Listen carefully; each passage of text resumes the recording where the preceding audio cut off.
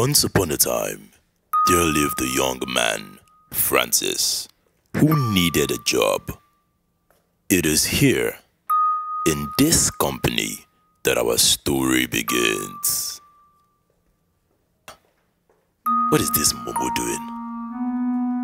Please, who are you? And you would say you went to school. Obviously, I am the narrator of this story. Narrator of story. Just shut up and listen.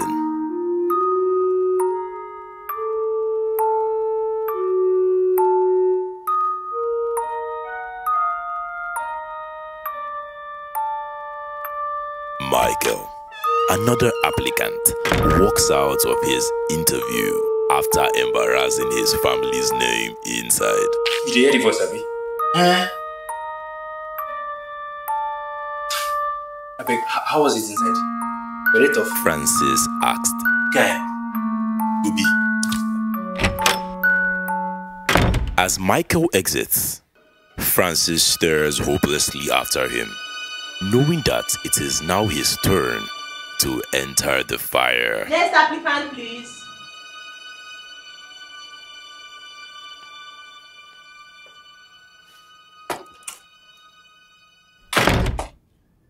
Morning, ma'am. Morning, sir.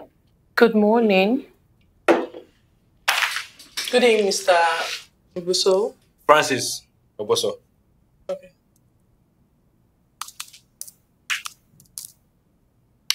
Okay, Mr. Francis. Let us know you.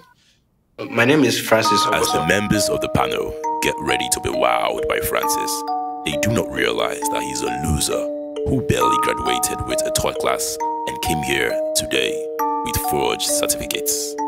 Margaret? What was that? Who is that? Ma, it's not true, ma. It's not true. Francis lied. I'm not lying. He lied again. Um, what is going on here? Ma, I, I, I don't know who or what this voice is. He just started talking when I was waiting outside. So are you telling me that if you should run a check with your school, everything in here will check out? Ma, Now this is my problem with Nigerians. Tell me how on earth will you forge certificates? Margaret scolded, which is a bit hypocritical, saying as she too lied about her credentials to get this job. Blood of the lamp! Margaret! Is this voice telling the truth? No, ma, I I really don't know what this voice is talking about. Margaret lied. She in fact knows exactly what I'm talking about because she never went to any business school, Margaret! not even Harvard. Uh, hold on, guys. Hold on, guys. Let's take a breath. Hmm? Uh, who is this voice gonna? Exactly. Eh? We we don't know what it is, but we know Margaret. She has contributed a lot to this company uh, since we hired her. Mr. Peters, the company MD, heroically defends Margaret. Although not so heroically, they have been having an affair since she was hired. Jehovah! Tunde, Blood of Elijah! Margaret! Ma, You whore! no, ma. Here! It's really not what you But think. keep quiet! When you won't come from Friday evening praise and worship. So this is how you go around. This is how you carry about your life. This is how you go. You're so shameless. Shameless. Ma, Keep, it's keep what quiet. you ma. What is this voice? I, sw- I swear to God, ma, I don't know. I don't know. Eh, he's talking about you. She's talking about you. Maybe you know something. You. You need salvation. Yes. Lord have mercy. We're actually in love and he's, he's going to divorce his wife. Eh, We will get married. As married. Margaret tries to explain to the judgmental Mrs. Adebayo how she is in fact not a whore, Mr. Peters hides his face because he knows he has no intention of leaving his wife because Margaret is merely his side chick, just like Dupe in accounting and Mary, the receptionist. Hey, hey, hold hey, on. hey. Hold on. look, this is a business environment, Mm. and you both have to be professional. Now, obviously, we have internal issues to resolve, but we have to put all of that aside to handle this issue at hand. This voice! Ah. Everyone waits to hear some secrets about Mr. Okonkwo. Truth is, he's the most decent, scandal-free employee in this company. I wonder why the board voted to fire him this week.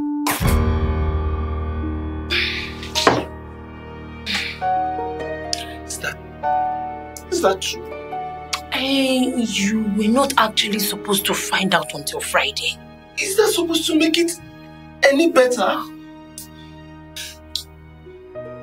So, you both have been doing conspiracy behind my back.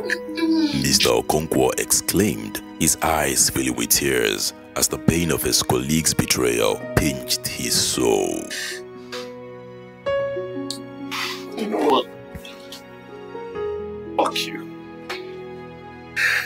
And fuck this company.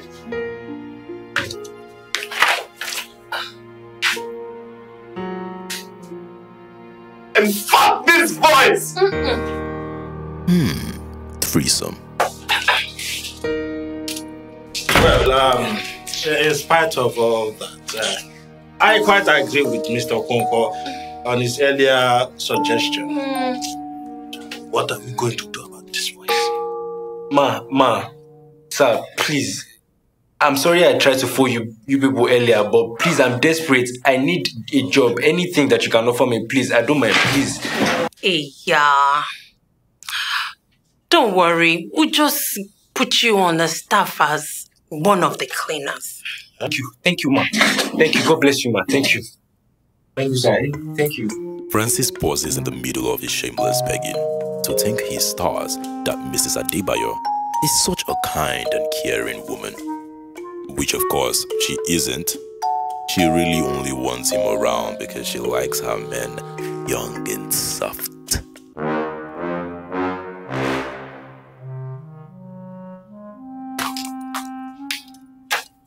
Hi, guys. Sorry I'm late. Charles, the office wonder boy. Why are you just arriving? You ought to be here since morning. Yes, about that. Sorry. I. Uh, my car broke down and I went serious traffic on the road. You know. Charles lied swiftly. The real reason he's late is because he spent the morning at Mr. Peter's house. Huh? Eh? What? He spends most mornings at your house with your wife Why? For what?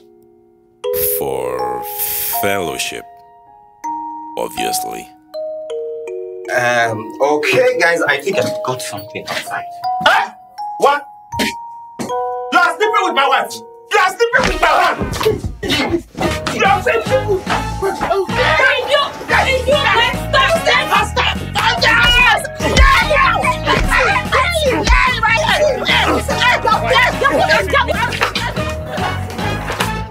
Hello, security. Please get in here right now. Conference room.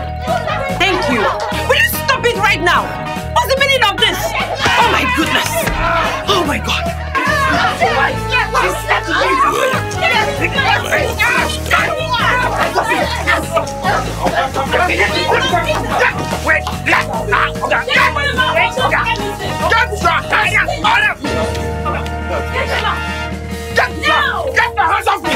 Mr. Peters, security, escort this man out of this premises right now. Now! Out! Useless man. Cutting. Margaret, get out. Ma, what about the interview? I said get out. Ah. Now!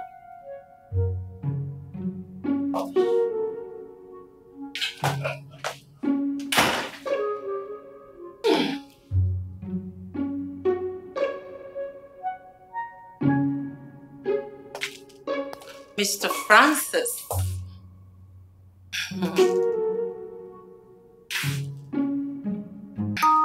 So Francis will be getting or giving a job.